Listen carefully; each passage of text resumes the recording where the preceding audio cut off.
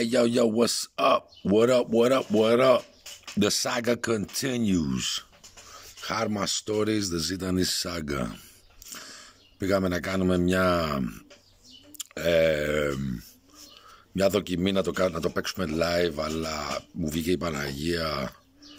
Το έκανα δεκ, έξι φορές, ξέρω εγώ. Άρα πιστεύω ότι η καλύτερη λύση είναι να το, ηχογράφω, να το γράφω μάλλον και να το ανεβάζω γιατί δεν ξέρω τι παίζει, ίσως να είναι ξέρω εγώ το connection μου, το τηλέφωνο μου, Α, δεν ξέρω ακριβώς τι συμβαίνει, να σου πω την αλήθεια.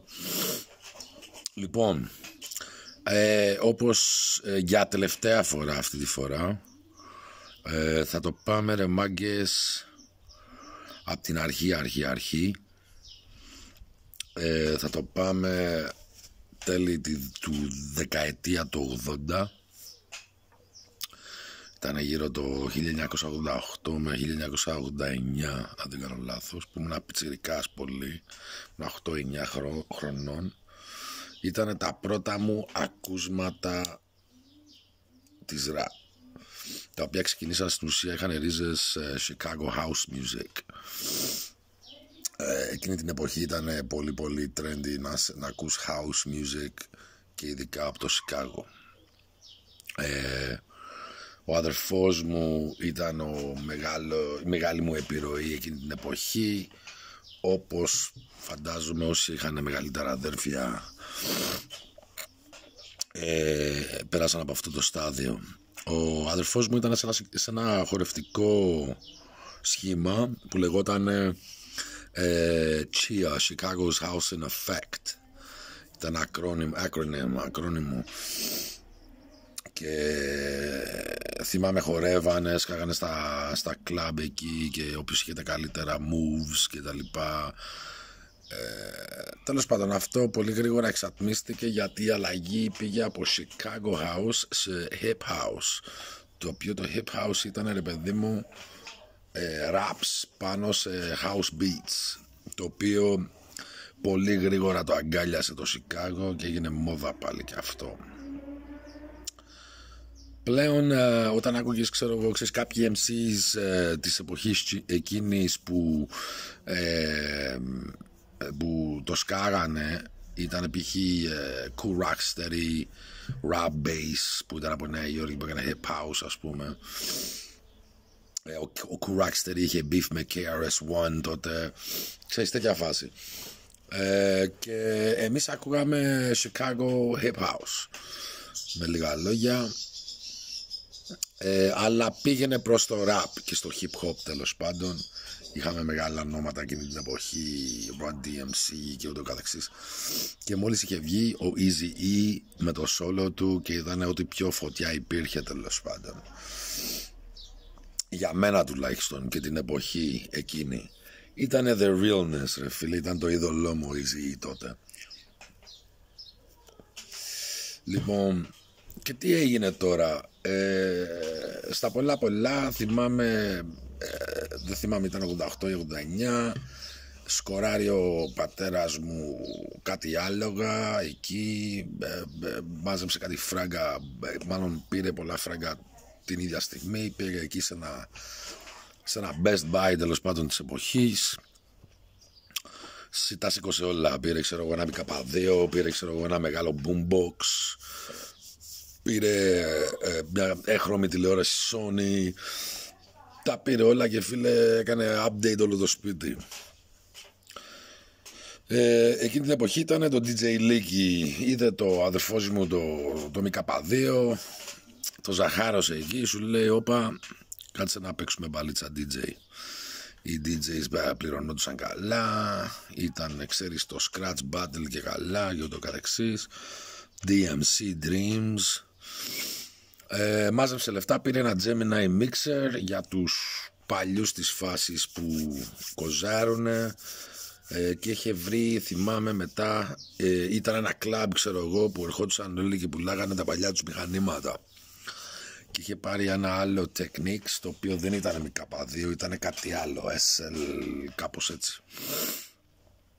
Ε, το οποίο ε, ξεκίναγε να κάνει DJ είχαμε και κάτι ηχεία ξέρω εγώ 1,5 μέτρο ξέρω εγώ σπιτικά.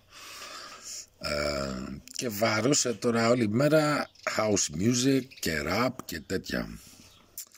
Τώρα εμείς ε, σε κάποια φάση πέφτουν στα χέρια μας, ε, στα χέρια μας ένα περιοδικό που στην τελευταία, στην τελευταία σελίδα γιατί το στρεσάρω αυτό ε, ήταν αυτό που μου έκανε την, την εντύπωση στην πολύ το έκοβες αυτό το κουπόνι τέλος πάντων, διάλεγες 10 κασέτες και πλήρωνες ένα δολάριο. Έβαζες μες στο φάκελο ένα δολάριο, cash, το κουπόνι και το στέλνες και πήγαινε αυτό εκεί στη δισκογραφική και σου στέλνε 10 κασέτες. Λοιπόν, για ένα δολάριο, το οποίο ήταν πολύ καλό deal, γιατί τα, τότε ήταν ξέρω 9,99 η κασέτα ή 10 δολάρια, κάτι τέτοιο, ή μια κασέτα. Λοιπόν, και θυμάμαι διαλέξαμε ότι η ράπ υπήρχε στο κατάλογο ε, και κάποια άκυρα, άκυρα που δεν θέλαμε. Εμείς ας πούμε θέλαμε τα NWA, τα Easy E και τα λοιπά. Πήραμε, ξέρω εγώ, το Straight Out of Compton, το Easy Does It, το LL Cool J, το I'm Bad. Ε, και τι άλλο ήταν τα κάνα δύο Fat Boys, ένα Run DMC και νομίζω είχαν μείνει δύο ακόμα και δεν είχε άλλο rap. Ah, Beastie Boys License to Ill. Δεν είχε άλλο rap να διαλέξουμε και θυμάμαι βάλαμε ε, Iron Maiden και Master of Puppets, Metallica, γιατί μας άρεσαν τα εξώφυλλα. Με τα πολλά πολλά σε κάποια φάση μετακομίζουμε Ελλάδα. Ότι και καλά θα μέναμε. Εμένα οι δικοί μου δεν τα πηγαίνανε καλά. Το σπάσανε. Ο αδερφός μου έφυγε Αμερική με τον πατέρα μου και εγώ έμεινα με τη μάνα μου στην Αθήνα. Στην Αθήνα πήγα σε ένα σχολείο ελληνοαμερικάνικο το οποίο είναι το δεύτερο ε, από ελληνικού που είναι στην Αργυρούπολη αν δεν κάνω λάθος Ιασονίδου ε, λίγο πιο κάτω το Μεγά Βασιλόπουλο όπως πας για το παλιό αεροδρόμιο στο ελληνικό. Λοιπόν σε αυτό το σχολείο είχε πάρα πολλούς από πολλές χώρες. Είχαμε ξέρω εγώ Αυστραλούς, Αφρικάνους, Εγγλέζους, ε, Αμερικάνους, Καναδέζους, από που θες ρε φίλε, παιδιά που δεν μιλούσαν καλά ελληνικά και πήγαιναν σε αυτό το σχολείο τέλος πάντων. Εντάξει, εγώ σίγουρα έκανα κλίκα με τους Αμερικάνους και συγκεκριμένα με δύο παιδιά, τον Σίνο και τον Αδάμ, τα οποία είναι παιδιά κλειδί στη φάση. Εγώ, ο Σίνο και ο Αδάμ ξεκινήσαμε ένα graffiti crew γιατί γράφαμε, σκάσαμε, σκάγαμε, φανταστείτε ρε παιδί μου, τρία παιδιά που ακούνε ραπ, ε, είναι ντυμένοι γκεράπα όπως έλεγε και ο Τάκης και κάτι πιο παλί της φάσης. Ε, ακούμε ραπ και κάνουμε bombing ρε φίλε, κάνουμε tag, throw ups, pieces, straight letter pieces κτλ. Και λέμε τώρα να ξεκινήσουμε ένα team όπου θα βάφουμε. Και έτσι γεννήθηκε το EBS, το Athens Bomb Squad, όπως είπε και ο Τάκης στο δικό του βίντεο. Ε, στην προκειμένη περίπτωση, εμείς βάφαμε γλυφάδια, νότια φάση, γλυφάδα βουλα, βουλιαγμένη, ε, ελληνικό, ξέρω εγώ, μέχρι τον άλυμο, γεφάλιρο φτάναμε. Κέντρο δεν, πήγε, δεν πηγαίναμε πολύ γιατί αράζαμε από εκεί εμείς. Ασχέτως αν έμενα εγώ κέντρο. Λοιπόν, μετά το σχολείο ήμασταν αραλίκη γλυφάδα. Και ξεκίνησε ένα beef με TXC λόγω του ότι κάποιος πάτησε το κομμάτι του Casey Twerk, ε, Twerk σημερινά, έχει αλλάξει το όνομά του. Του Twerk. Τώρα ή το πάτησε ο Twerk ή άλλος πάτησε του Twerk ναι, ή, ή, του πατήσανε ή αυτός του πάτησε το κομμάτι. Ε, για αυτούς που δεν ξέρουν, όταν βάφεις από πάνω τον άλλον και είναι disrespect εντός εισαγωγικών. Εμείς ήμασταν και λίγο κολόπεδα τότε, όπου βλέπαμε τι εξή το σβήναμε, χι χι χι και δίπλα tag, ABS και τέτοια, beef, ξεκίνησε ένα beef. Ε, τώρα για εκείνη την εποχή το TX ίσως να έχει το μεγαλύτερο graffiti crew στην Αθήνα ήταν χίλια άτομα, ο καθένας και τη μάνα του έγραφε τι εξή ας πούμε. Υπήρχαν και αυτοί που κάνανε copy, copycats, που δεν ήταν ακριβώς crew, αλλά το σκάγανε το TX, όπου, όποτε βρίσκανε την ευκαιρία κτλ. Τέλος πάντων, ε, σβήναμε εμείς, μας σβήναν αυτοί, σβήναν και ούτω καθεξής. Κάνα δύο φορές στη γλυφάδα, μια φορά συγκεκριμένα, πετύχαμε κανένα δύο παιδιά που γράφανε. Πέσανε κάτι σφαλιάρες, έγινε μια ψηριστική, τους ψηρίσαμε κάτι κάνς. Ξέρω εγώ, το κάνανε και αυτοί σε έναν από εμάς, έναν πιο πιτσιρικά EBS. Και ήμασταν τώρα όπου δούμε ξύλο, τέτοια φάση είχε βγει η εντολή. Gang gang φάση. Λοιπόν, και με τα πολλά πολλά βάφαμε, σβήναμε, παίξαμε κάτι μπουνιές εκεί. Κάποιος ε, μας λέει ρε φίλε ότι τι έξι κάνουν ραπ. Τώρα εγώ στο διάστημα που έβαφα και πήγαινα σε αυτό το σχολείο εγώ και ο Αδάμο, ένας από τους τρεις είχαμε κάνει ένα crew ε, rap και γράφαμε raps στα αγγλικά μόνο και λεγόμασταν EOB, Essence of Buddha και είχαμε γράψει ξέρω εγώ 8 με 10, 8 με 10 κομμάτια νομίζω το οποίο η κασέτα σίγουρα υπάρχει στο σιρτάρι μου στην Αθήνα και σίγουρα πρέπει να έχει και ένα αντίγραφο ο Αδάμς στην Αθήνα στο Περιστέρι κάπου λοιπόν και καβλώσαμε να γράψουμε ε, το Fact TXC το οποίο ήταν μήνυμα του Τσαμπουκά, ήταν η πιστοποίηση του Τσαμπουκά του τότε. Ε, το οποίο Τάκης είπε ότι ήταν κάτι παιδικό. Ναι, ήταν παιδικό, αλλά εμείς εκείνη τη στιγμή το ζούσαμε, ας πούμε. Ξέρεις, είχαμε ρίξει και μπουνιές. Σε κάποια φάση όμως είχε, τέλος πάντων, μετά πολλά πολλά βγαίνει, ξέρω εγώ, προσπαθήσαμε να το διαδώσουμε, δεν διαδόθηκε και τόσο καλά. Ε, κάποιοι το, το ακούσανε, κάποιοι δεν το ακούσανε, δεν πηγαίναμε κι εμείς για κάποια επιτυχία, απλά ήρθαμε να στείλουμε ένα μήνυμα. Λοιπόν, ε, και τι έγινε τώρα. Ε, σε κάποια φάση έσκασε και ο Αρτέμις νομίζω γλυφάδα και ο Ευθύμης ή μόνο ο Αρτέμις, δεν θυμάμαι τον TXC πριν γνωριστούμε καν δηλαδή και, σε, έγινε σκωτ στο beef δηλαδή τα είπαμε καλά ξέρω εγώ αού παίζει να ήπιαμε και τίποτα μαζί και τελικά φιλέψαμε αντί να τις παίξουμε ε, anyway, to make a long story short, εμείς γράφαμε raps, συνεχίζαμε το βάψιμο σαν να μην τρέχει τίποτα. Σε κάποια φάση, ε, ναι, λέω στη μάνα μου πάω Αμερική στον μπαμπά, φεύγω, ήθελα να δω και τον αδερφό μου. Ε, πήγαινω Αμερική. Ε, πάω μένα με τον πατέρα μου σε κάποια φάση στο σχολείο ξέρω εγώ παίζεται ένας τσαμπουκάς με κάτι εξωσχολικούς. Ο ένας βγάζει για ένα γκάνι συλλογιστήκαμε όλοι μας πάνω μας το μαθαίνει ο πατέρας μου ο πατέρας μου λέει πήγαινε στη μάνα σου εσύ σε προβλήματα και κάτι τέτοια οκ okay.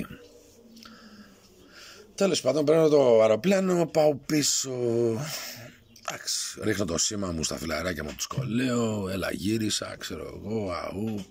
Ξεκινάμε πάλι τις ίδιες διαδικασίες, bombing, καναρά που και που ε, και ούτω καθεξής.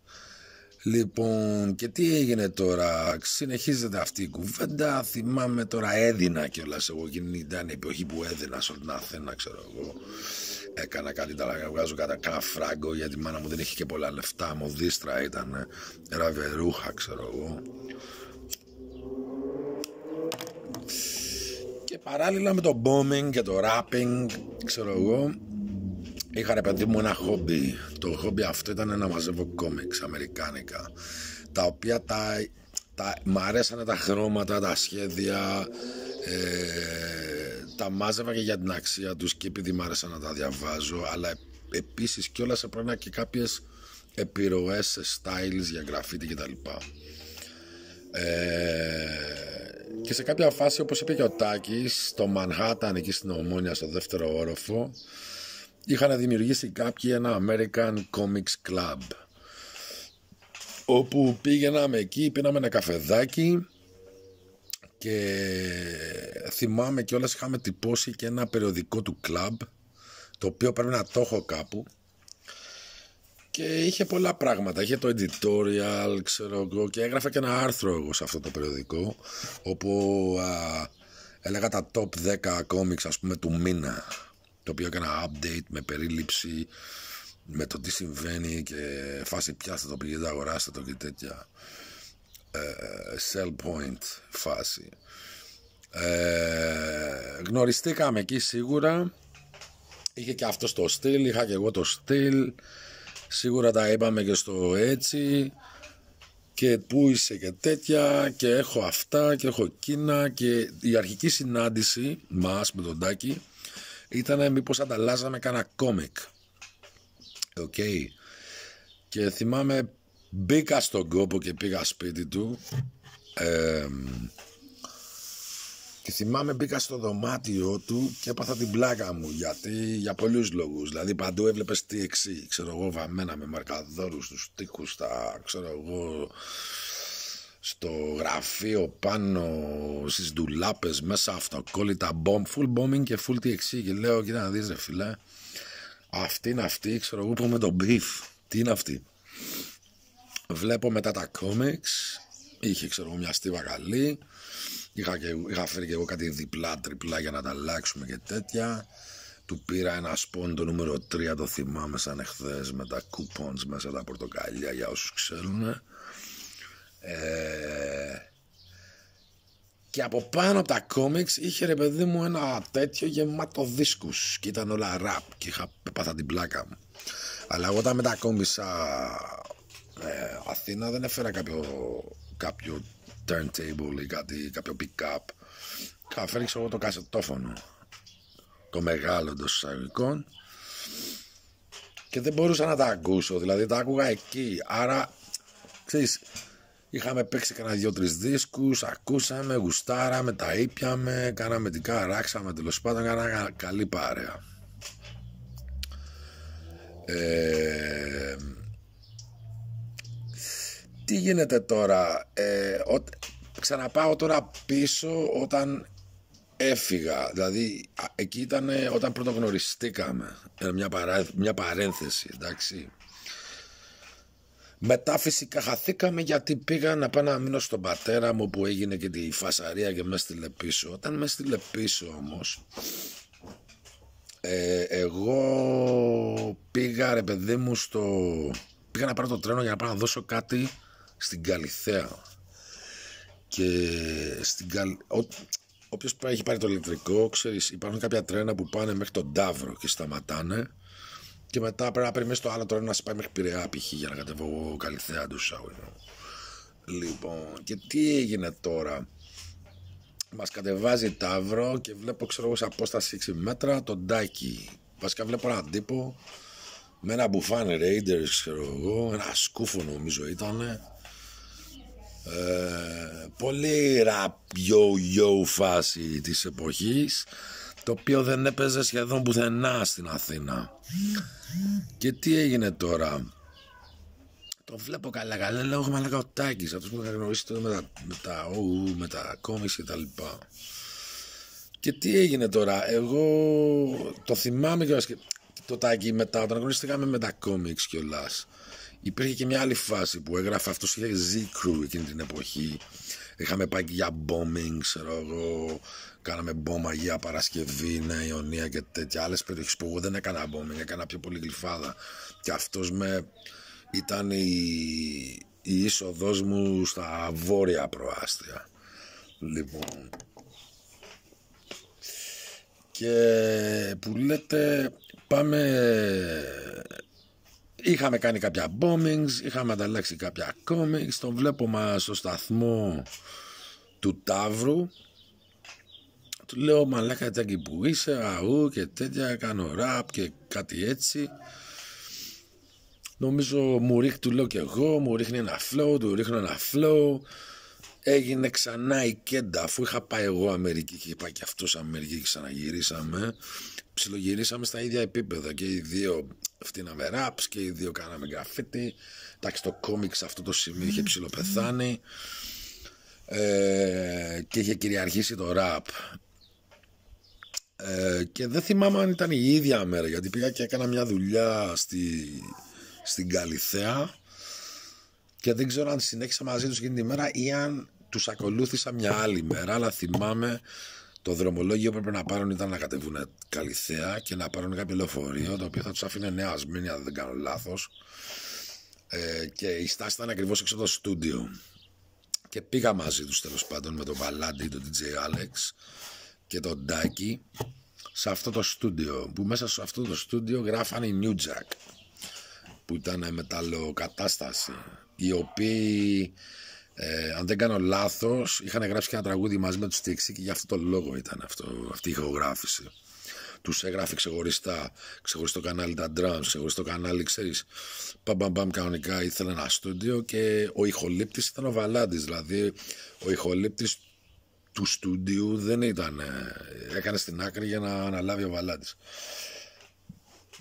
Λοιπόν, και μου εξήγησε τη φάση, τι εξή, ξέρω εγώ, αού. Ε, του εξήγησα και εγώ ότι έχω ραπ στα αγγλικά, άκουσε κάτι flows, μου σκάσε κάτι flows. Μου λέγε μαλάκα γαμάς γιατί δεν γράφεις στα, στα, στα, ελληνικά. Του λέω ρε μαλάκα δεν μπορώ να γράψω εδώ, δεν μπορώ να πω καλημέρα σωστά ας πούμε πώς θα, πώς θα γράψω εγώ στα ελληνικά ας πούμε. Το είχα στον μπάρι και για λίγο λέω και καλά δεν ακούγεται καλά, είναι αμερικάνικο το κόλπο και πρέπει να είσαι Αμερικάνος. Το είχα δει και λίγο αλλιώς εγώ εκείνη την εποχή.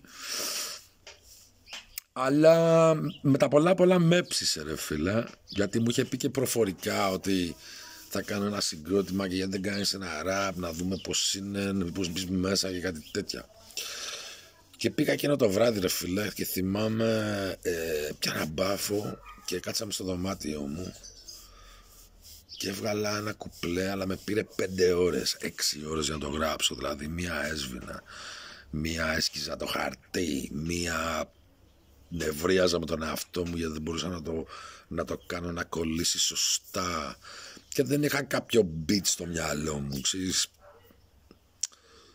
Μαθηματικά το κάναμε στον εγκέφαλό μου χωρίς να έχω τίποτα γνώσεις πάρα πολύ καλές. Δηλαδή στο επίπεδο που είμαι εγώ τώρα ας πούμε μουσικά και με τα πολλά πολλά γράφω ένα κουπλέ, φίλε, τον παίρνω ένα τηλέφωνο, του λέω μάγκα να βρεθούμε, ξέρω εγώ, πιάμε ένα τσιγάρο, του φτύνω το κουπλέ στα ελληνικά, παθαίνει την πλάκα του, μου λέει μαλάκα, πρέπει να το κάνουμε κομμάτι. Πρέπει να είχαμε βρεθεί νέο νέο νέο, γιατί θυμάμαι είχαμε πάει πάνω στο δωμάτιο και είχαμε, είχε κάποιες λούπες και λέμε ναι αυτό, ξέρω εγώ κτλ. Ε, και το γράψαμε μαν σε μια μέρα, ξέρω εγώ. Το ήρθαν οι MCs, έτσι μπαμ. Ε, και από εκεί και πέρα μάγκες ε, και μάγκησες ε, ξεκίνησε μου λέει μαλάκα είμαι εγώ εσύ και άλλος ένας μου είχε πει. Δεν ήξερα εγώ για τα αδέρφια ε, και λέω ωραία γάμο οι τρεις μας θα είμαστε ξέρεις εμένει να γνωρίσω ξέρω εγώ αυτό το μηδενιστή τέλος πάντων που δεν τον είχα γνωρίσει σε εκείνη τη φάση αλλά είχα, είχαμε πατήσει ένα ραπ πρόβα δεν πήγαμε σε στούντιο να το γράψουμε εμείς ξέρω εγώ πα, πα, πα, το κάναμε και μετά είχαμε ένα album plan που έλεγε rap, rap, ξέρω εγώ, refrain, κλεκ, τσικ. Το επόμενο κομμάτι. Καταλαβες και παίρναμε κάποια concepts, ένα represent κομμάτι, ένα έτσι, ένα για αυτό, ένα για εκείνο. Και θυμάμαι μετά πήγα στο drawing board που λέει εντός εισαγωγικών αφού έγινε το κανέ, δώσαμε χέρια με το ντάκι, έγινε το κονέ. Μετά το είδα σαν δουλειά. Λέω, οκ, πάμε να το, να το σκάσουμε. Και το δεύτερο κουπλέ που έγραψα ήταν, πρέπει να ήταν το «Οι γνώσεις μου αγγίζουν το, το όριο, δεν έχεις περιθώριο» στο στο έντεχνο του δρόμου στυλ, γράφω και αυτό ραπ, του το δίνω, του το φτύνω μάλλον. Μου λέει ο μαλάκα γάμισε. Μετά κάναμε κάποια sessions που γράφαμε και οι δυο μας και παίζαμε τα beats. Μετά, δηλαδή έγινε όλο και πιο πολύ σαν δουλειά αυτό το πράγμα για να βγάλουμε tracks. Γιατί όσο πάμε, έβγαζες στο ένα track, το δεύτερο, αυτό το πράγμα που ήταν σαν ιδέα άρχισε να γίνεται πραγματικότητα, ρε παιδί μου. Εγώ ακόμα δεν έχω γνωρίσει το μηδενιστή. Νομίζω είχαμε κάνει 3, 4, 5 sessions και μετά γνώρισα το μηδενιστή. Ε, πάντως εγώ πήγαινα σε κάποια φάση κάθε μέρα σπίτι του Τάκη και πείτε του τι είναι αυτό το Buddha Cell να σας πει και έφερνα τον Buddha Cell και έκαναμε δουλειά. Και θα σου πει ότι ήμουνα και εγώ και στις επιλογές της Λούπας και στη διαδικασία. Αν και ο Τάκης το ψιλοέστηνε όλο τον κορμό, ήμουνα μαζί του σε πάρα πολλά beats. Ε, θα, αυτό για σήμερα είναι 25 λεπτά το βίντεο. Μάγκες σου κατέβασα 3, 4, 5, 6 βίντεος γιατί έγινε σκατά. Ε, Δυστυχώς έτσι θα είναι. Δεν θα μπορούσα να το κάνω live. Γιατί κάτι γίνεται. Δεν ξέρω τι συμβαίνει με το connection. Θα μείνουμε σε αυτό το σημείο και θα το συνεχίσουμε αύριο. Peace. The saga continues. What's up?